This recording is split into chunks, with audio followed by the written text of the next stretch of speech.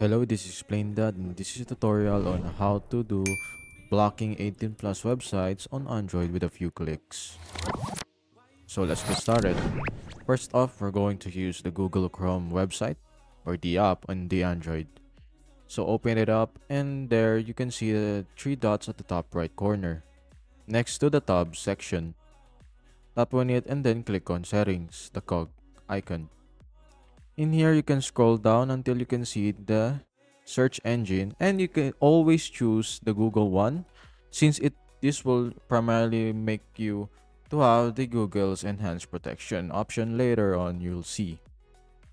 So go back to settings and then click on security check. In here you'll see the safe browsing, tap on it and here you'll have three options.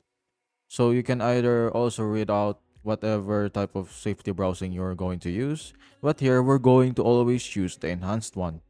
This will surely block all DNS type and IP address as well of those dangerous or 18 plus adult uh, websites.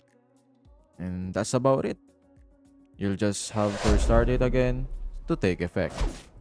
So that's how to block 18 plus websites on Android with a few clicks. If you found this video helpful, be sure to hit that like button, subscribe to our channel, and share it with your friends by notifying that bell as well. As always, stay tuned for more tech tutorials on Explain Dad.